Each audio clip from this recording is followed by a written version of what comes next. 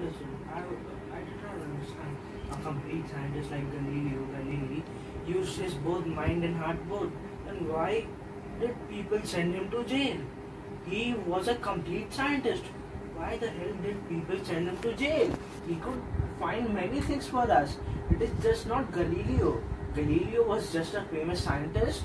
That's why we know about him. There are many like Galileos exist in existence.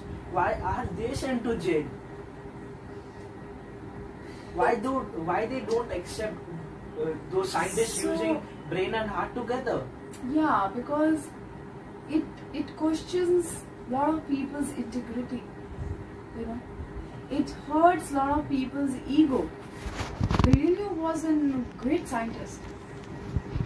He had great research, and uh, you very rightly put it that he was using his feelings, emotions, and his mind both together. But then, of course, it was uh, hurting a lot of people's ego. You know, and uh, he was trying to break the norms of certain norms. See, the problem is, you know what, Krish, that we all are so used to of living in that comfort zone that we don't want to come out of that comfort zone. The moment somebody makes you discomfortable, you want to kill that bastard. How can he take away my comfort zone? we all like to be in our comfort zone we don't want to go to a we don't want to jump into an unknown destiny we don't want unpredictable things in life we want everything in a set parameters It's just like uh, what happened with Nikola Tesla. No one respected him. What he said, he said that I'll invent wireless electricity. Everyone just uh, disrespected him in front of the whole world. Why is it? Are people jealous of those people? exactly when that's that's what i'm trying to say krish that whenever you question somebody's integrity or whenever you try to break their belief system or you try to drag them out of their comfort zone people feel that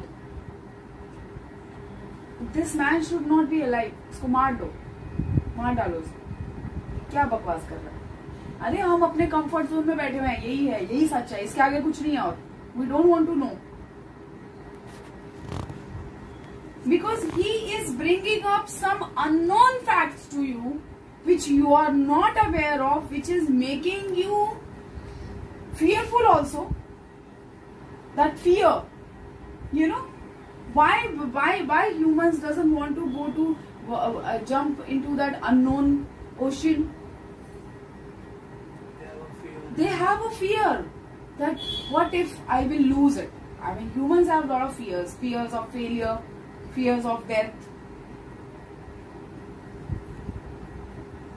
So, human feel that, you know, what if I'll jump and I will fail or I will die?